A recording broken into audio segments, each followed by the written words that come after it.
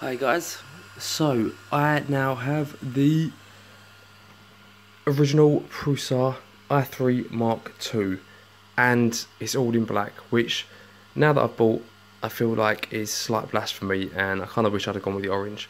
But I think black would suit, suit my uh, decor a bit more. Um, okay, it's a bit messy around here because I've just been doing the calibration stuff. But basically I uh, bought the kit, excuse me, and I built it. It took a long time. Um, I was not prepared for how long it would take. The uh, only other printer I built was a Chinese cheap i3 for like 120 pounds, you know, 150, 60 dollars. Um, and for example, the whole X assembly was built. Um, you just had to build the frame um, and then kind of attach that to the frame to the heat bed. You know, it took about four or five hours, but, but it was in a, with a Chinese manual, so it wasn't English. So I had to figure everything out. Um, this is building everything from scratch, absolute scratch, every nut and bolt. So it definitely took a while, um, and I got used to it and changed a few things. Had to figure out a few things, and when it came to doing the calibration, um, which, as you can see down here, um, where are I?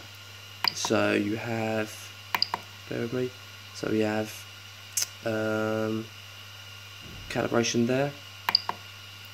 So the self-test, so what the self-test does is check each motor is running, so the bed goes back and forth, the x-axis goes back and forth, each one touches the end stop.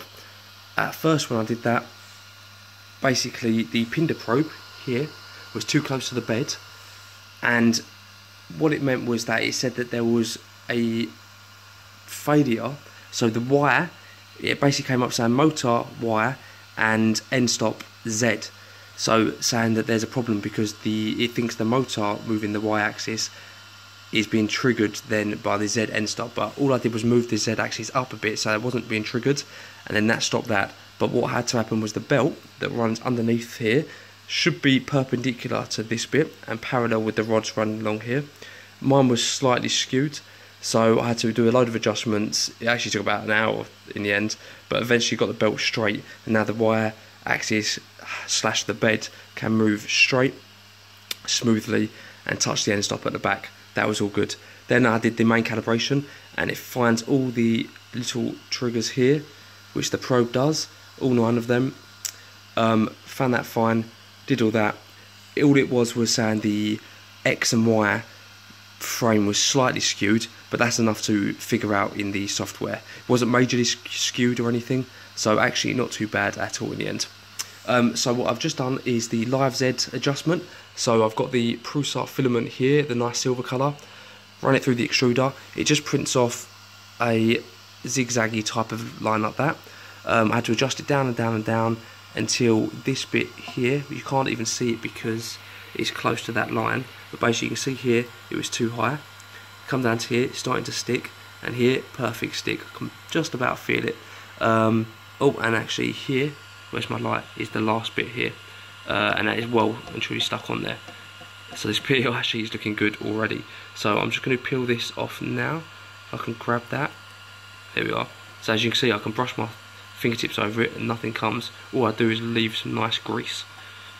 So let me grab this and you can see it'll pluck it up. And that is actually taking a little bit of force to pick up. It's like peeling something off.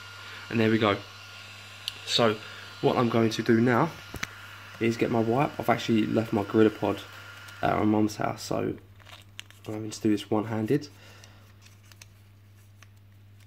but here we go let's get this wipe out that Josef himself supplied give this a quick another wipe get all these greasy horrible fingerprints off. Try and get under there. Not burn myself on anything. Okay, I love this it smells clean. I'm a bit addicted to any antibacterial gel, so anything that smells like that must be good. Alright, so there you go, free of grease and free of germs. Okay, so now what I actually found was quite a lot of uh, G codes in here, um, way more than I expected. So if I go down to, so what have we got? Um, let's have a look. What's what? Support statistics, calibration settings, load filament, print from SD, info screen. Quite a lot of stuff there actually. What's in settings a sec? Move axis disable, live as Z adjust Z, and so I'm 0.797 millimeters. Okay, so quite far, um, but it seems to be perfect. Okay, so let's do print from SD, and as you see, I've got the dual color, some Prusa dual color. I think that might be the Prusa logo. I've got a PLA buddy. Um, not sure what that means. Um, but I'm kind of interested to see. Oh, it actually has the time as well. So two hours it says to print that. The PLA beer opener, um, color print, uh, 200 microns. I'm guessing that means microns. Um, I think I've seen that one as actually. I think that's got Prusa's face on it, so that's quite cool. Um, where are we? We've got the another beer opener. Uh, that's at 100 microns. We've got the Batman. So I think that might be the Batamarang. It's only 20 minutes, so I might print that one off first just to test it. We've got a, a what, an Ada Linga. Oh, I think, is that the Dragon? Um, so that's six hours. So I'm definitely going to do that tomorrow, I think, because it's almost midnight now. I need to go to bed. Um, 3D Hubs of the Marvin. So we've got the Marvin, that's only one hour. Oh, that's tempting. What's the time right now? Mm, no, I've been ill. I need to get some sleep. Um, and there's the calibration G code, which I just printed to test the Z. Um, they've got a whistle, 30 minutes. Oh, that's tempting. Um, maybe we'll do that. Um, got the vase, which is five hours. Definitely have to see what that is. A Triceratops skull, definitely doing that.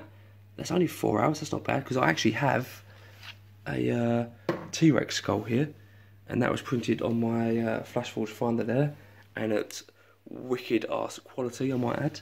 Um, well, oh, God's gone off here. Wish it could actually stay on stuff a bit longer. Um, so where were we? Uh, got the vase the Triceratops, the tree frog, so we all know that one. Um, that's a 50 microns. Wow, can't wait to see that print and see how good that is. Uh, what's this, the Prusa something, only 20 minutes. That might be the logo. A, a gear bearing, 100 microns, 5 hours. A castle, 100 microns, 17 hours. Um, wow, I can't wait to see what one that is. Um, and that's it.